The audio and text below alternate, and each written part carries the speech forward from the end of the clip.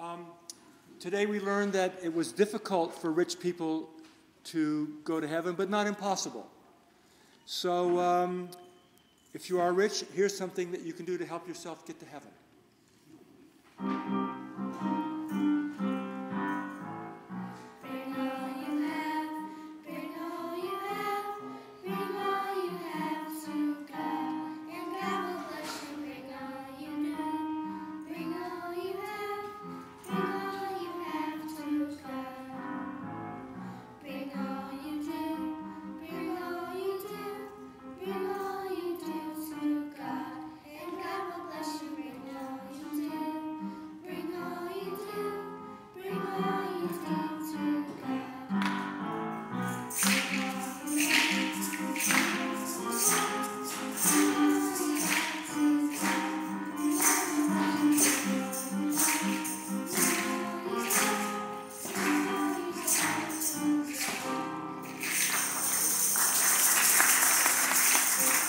shot.